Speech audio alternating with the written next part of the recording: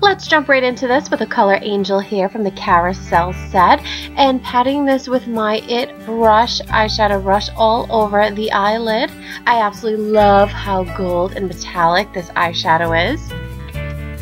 Then going in with Yule Log and using this in the outer part of the eye, doing it in a V motion with my e.l.f. smudger brush, bringing it into the crease, and most of all, which I haven't done yet, is putting it in the inner part of the tear duct area. Awesome!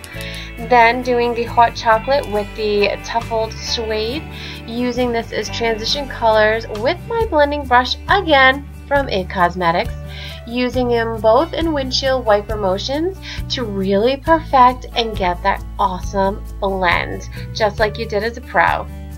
Then adding a little bit more of the angel here in the mid part of the eye to really, really make the center of the eye pop that much more. And then using the L'Oreal Cream eyeshadow with my IT Eye Angled brush and really dragging this in thicker on the outer part of the eye and thinning it near the inner parts. So really tight lining it. Then winging it out a little bit more for that sexy cat eye look that we all absolutely love. And using my Calvin Klein eyeshadow and using this as a highlighter underneath my eyebrow. Then going in with Yule Log underneath the rim. And following up with the L'Oreal Telescopic Mascara on the bottom lashes. Hello, let's talk about the lips right now, what I'm using.